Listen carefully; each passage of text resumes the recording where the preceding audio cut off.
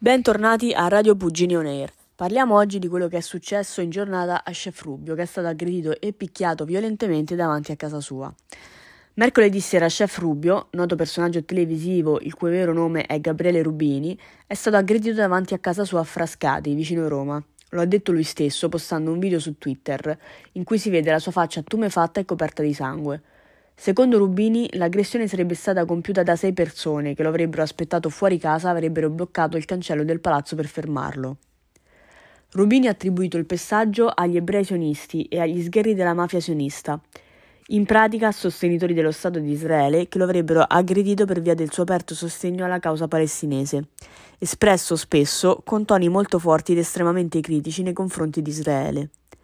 Le affermazioni di Rubini non sono state confermate dalle autorità e al momento non ci sono elementi per verificarle e identificare gli aggressori. Rubini ha detto di avere una ferita in testa dovuta a una martellata, tagli ed escoriazioni causate da colpi di mattone e una frattura dell'orbita faciale dovuta a 60 pugni mirati. Sui social si possono vedere le immagini che lui stesso ha postato. Con questo è tutto da Radio Bugini.